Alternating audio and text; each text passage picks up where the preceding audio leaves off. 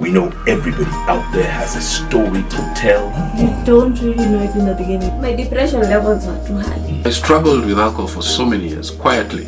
Yes, I don't have a mother, but mm. I have a dad. Me, me I, I was a drunkard. Eh? nilikuwa nimefungwa one year lakini nikasukuma four months His angels working for us. Everybody deserves to tell their story. I used to search how to die.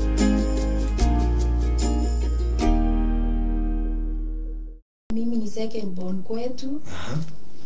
Nimesoma mpaka class 6. Wazazi wetu walikuwa walevi sana, tuko seven, mimi ni second born. So ukifika home unakuta wazazi hawako, naenda kuwatafuta kwa pombe, wawanunulia hata mandazi tu kule Urundi shule. Kakuja Nairobi, nikaandikwa, nikakaa kwa huyu mama miaka tatu Lang'ata. Kulikuwa. Estate, estate inaitwa Jambo Estate. Juu nyumba ilikuwa mzuri na kura ilikuwa poa, mpaka nikasahau ile shinda ya chakula huko. mpaka nilisahau mshahara, nilisahau wa mtu analipa. afro cinema mchana unaachiwa tv niandike elfu tatu nikakaakaa nikakaa, waku nilipanga hiyo miaka yote. Siku ya kuenda walinifukuza kama kunifukuza eh, bila kulipa hata shilingi eh, kwa vile umekula chakula yao yaani ulilipwa na sausage eh, si ulikula bacon mikate haikaagi kwa hii nyumba unataka kuniambia tukulipe tena home nikiwa smart, Yeah. nikakutana na huyu nikapata mimba ya my son. Huyu mtu hakushughulika. Sasa kuna auntie ana alikuwa anapika pombe hiyo time. Kuna pombe ya Meru inaitwa kaanga. kaanga Eh, hiyo imeharibu watu sana. Eh, juu hata ndio wazazi wangu walikuwa wanakunywa. Yes Akaniambia juu niko na mimba sasa nitafanya aje na sina kazi, nitafuta 600 anifunze hii kazi ya pombe. Nikamwambia sawa anti, nikatafuta kazi ya house girl tena lakini Meru. Nikaandikwa na Wolia. Sasa ile shinde ya mimba kunisumbua. Sikuwa nafanya kazi vizuri. Huyu mama akasema, huyu mama aliniandika 1200 kwa mwezi.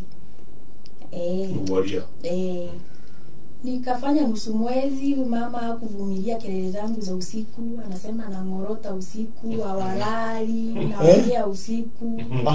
Huyu mama akanifukuza pia nikiwa na nusu mwezi kwa kazi, akanipea ile 600 nikaenda nikaambia anti, ndio hii sasa. Nikaanza ile kazi ya pombe, nikaendelea vizuri, nikanunua nguo, yani nika nikakuwa sawa sawa sasa ile sasa nilipata mtoto siwezi pika tena na kupeleka juu napelekanga nikasema acha tu nirudi kwetu. Nikafunga tu macho nikasema acha nirudi ile mboma yetu tu. Nikabeba mitungi zangu za pombe nikaenda nyumbani. Sasa wazazi wangu nao ni wagani. Nilikuwa naweka hiyo pombe unaweka sukari ndio upike kesho asubuhi sasa wazazi wangu nilikuwa naweka sukari wanakunywa kaa ijapikwa wanaamkia asubuhi wananitumia. sasa. Nikaachana na pombe. Mtoto sasa nishapata mtoto. Kuna hawa wasichana wawili walikuwa wa hiyo kambakia yetu. Mm. wakaniambia kendi tunaona umesumbuka sana. Why are you suffering? Eh, kama utaitikia hata tukuonyeshe vilua tunafanya ulee mtoto? Aliniambia wao wanaenda street. Ni hawa wasichana wanakujiuza hawa. Mhm. Hai, nikaona ikiwa ngumu lakini niliitikia